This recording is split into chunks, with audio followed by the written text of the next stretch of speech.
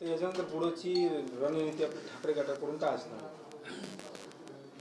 या संदर्भात शासन निर्णय काय आला आहे ते कालच आलेला आहे. मी अजून तो शासन निर्णय बघितला नाही. आज आमची शिवसेनेची कार्यकारिणी बैठक असल्यामुळे आता मी सविस्तर तो शासन निर्णय बघतो.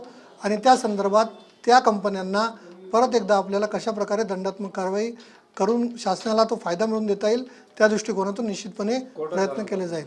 ते कोर्टाचा जायचा विषय असेल किंवा अपिलिंग अथॉरिटीकडे जायचा विषय असेल ते मी शासन निर्णय बघूनच ठरवणार आहे. ते निकाल तुमच्या बाजूने लागले. त्यावेळेस. आणि त्यांना दंड भरण्यासाठी बाध्य केलं होतं. आता हे शेकडो कोटी रुपयाचा जो दंड आहे त्यांना माफ झाला. मांडव करला कंपनी तर आता तुमची पुढची काय याच्यावर असणार. समृद्धी महामार्गाचे कंत्राटदार मी मॉन्टे कार्लो लिमिटेड व आयर्न ट्रँगल कंपनी लिमिटेड यांना जालना जिल्हा प्रशासनाने तीनशे अठ्ठावीस कोटी रुपयाचा दंड ठोठावला होता. त्या दंडाच्या विरोधात आम्ही माननीय उच्च न्यायालयामध्ये याचिका दाखल केली होती. त्या याचिकेमध्ये आमच्या बाजूने निकाल लागून माननीय प्रशासनाने जो दंड लावला होता तो कायम ठेवण्यात आला होता. सदर कंपनीने त्याच्या विरोधात सर्वोच्च न्यायालयामध्ये अपील केली. अपीलमध्ये मी मूळ तक्रारदार असल्यामुळे आम्ही त्या संदर्भातली सुप्रीम कोर्टात याचिका दाखल केली.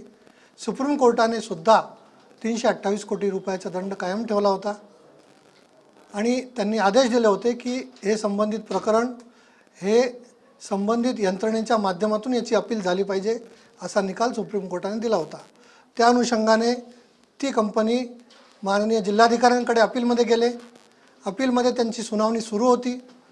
सुनावणी सुरू असतानाच कॅबिनेटमध्ये डिसिजन झाला की समृद्धी महामार्गाच्या कामासंदर्भात जेवढे दंड आकारण्यात आलेले आहेत तेवढे सद सगळे दंड मुंबईपासून नागपूरपर्यंतचे सगळ्या कंत्राटदाराचे दंड या शासनाने त्या कॅबिनेटच्या मिटिंगच्या अनुषंगाने माफ केले आहे.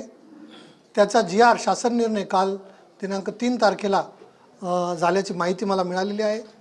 त्या जी आरचं काय संपूर्ण मी अजून वाचलेला नाही त्या जी आरची संपूर्ण माहिती घेऊन त्या संदर्भात दंडात्मक कारवाई कशा प्रकारे त्यांना परत होऊ शकते त्या संदर्भात योग्य तो निर्णय घेण्यात येईल.